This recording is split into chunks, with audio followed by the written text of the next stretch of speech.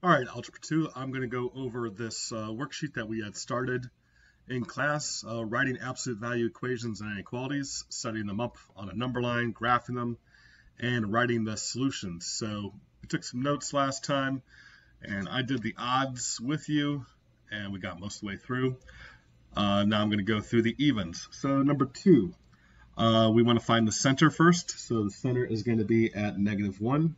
Again, a quick way to find the center is to take the average of the two endpoints, negative 4 plus 2 divided by 2 gives you negative 1. So there's negative 1 in the center. And then we can either count the spaces or subtract to find the difference. Looks like it's going to be 3. So we put that down. Set up our absolute value bars.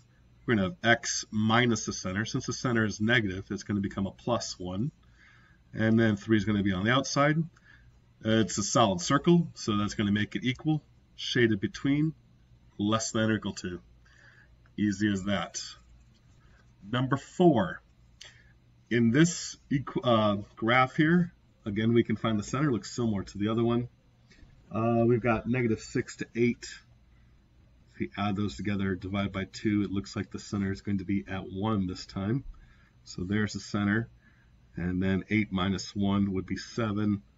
1 minus negative 6 would also be 7. We would have the opposite value of x minus 1 is less than or equal to 7. Number 6.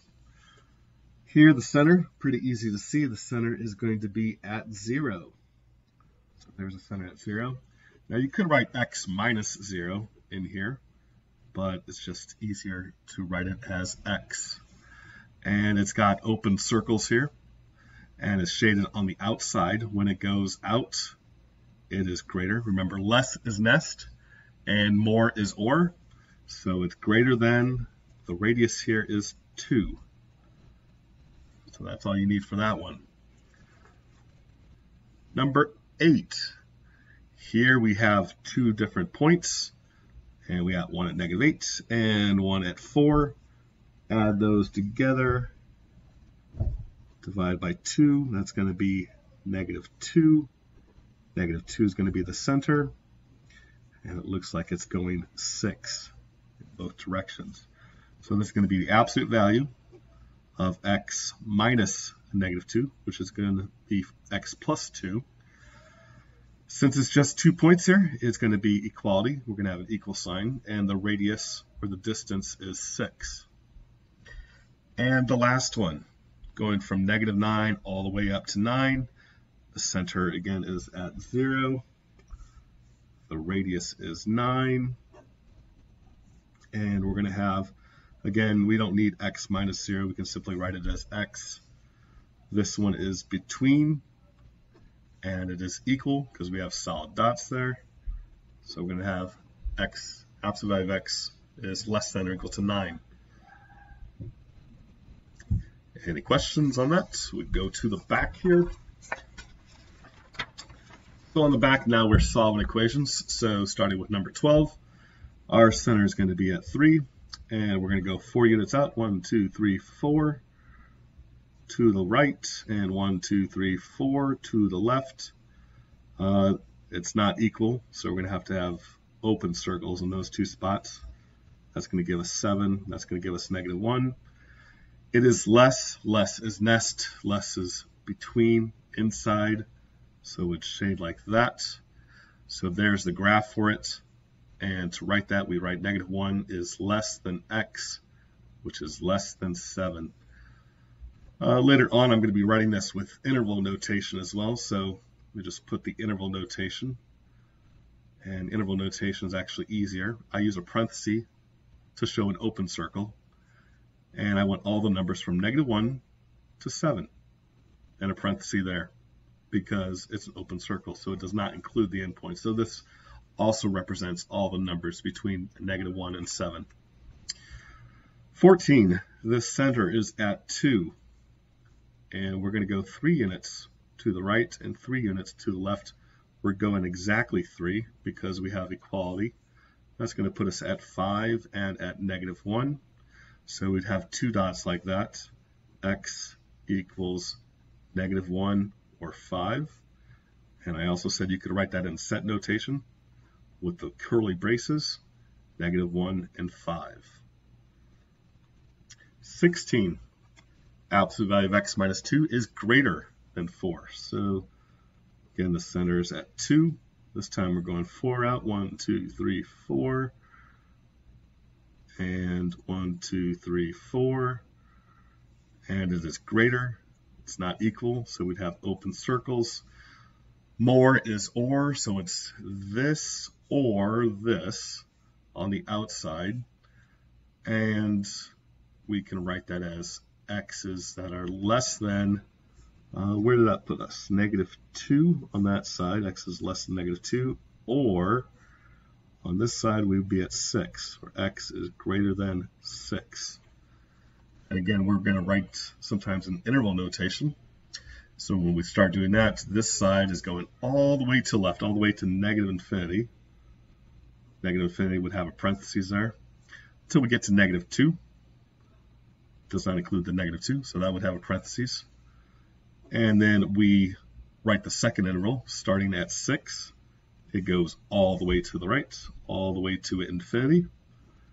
Can't include infinity, so that has a parentheses. And then to tie them together, you put a U. U is the glue that holds intervals together.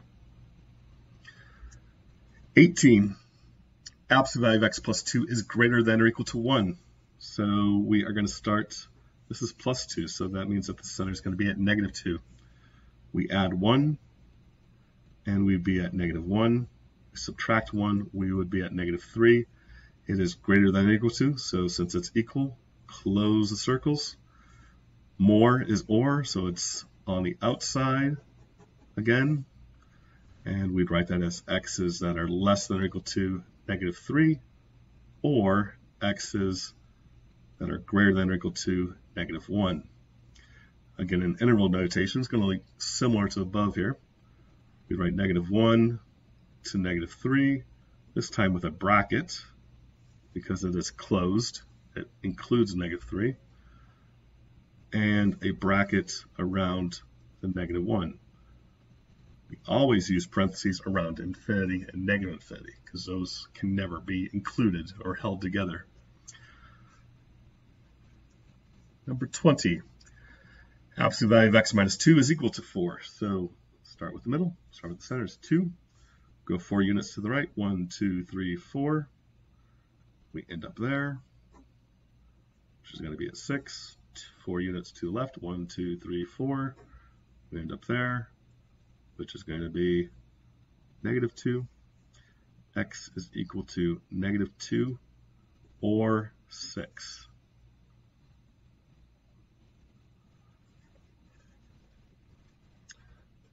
down to 21. so as I said, the uh, last four here are special cases. This is our first one, absolute value of x minus 3 is equal to 0. So same thing, we want to start with the center. The center's at 3. But this time, our distance that we're traveling is 0. So if we start at 3 and we walk 0 units, where are we? Well, we're right where we started. We're at 3. So this is a special case because it only has one solution x equals 3. 22 looks similar. Absolute value of x minus 3. Again, we're going to start at 3, but this time it equals a negative 2. But we're talking about distance. When does the distance going to equal a negative 2? Can you walk negative 2 miles? Can you walk negative 2 feet? I don't think so. So even though we are starting here at the center, we have nowhere to walk, not even 0. So there's no way, no number that we could plug in there that would equal negative 2. So what do we write? We can write no solution. So there's a couple different ways to write no solution. You can write it out in words, I abbreviate it. You can use an empty set of braces, or you can use a circle with a line through it. Those all mean no solution or the empty set or null set. And similar for 23, the center is at 3, this is saying that the distance away from 3 is less than negative 2. Well, if you can't walk negative 2 miles, you can't walk less than negative 2 miles. Uh, so again, this one's going to have no solution. So no solution for that. So you would just leave the number lines blank on those.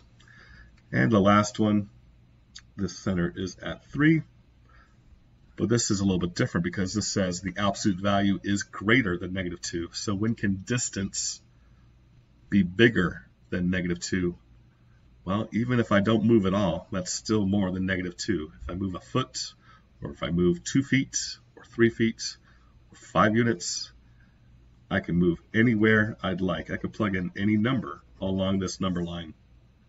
So the solutions here would look like all reals. And again, several ways we can write that. You could write in words. You can make a fancy looking R. Or you can write it as an interval. All the numbers from negative infinity to infinity. I guess you could also write it as an inequality in the same way. So that's it for this worksheet. Hopefully that helps. Uh,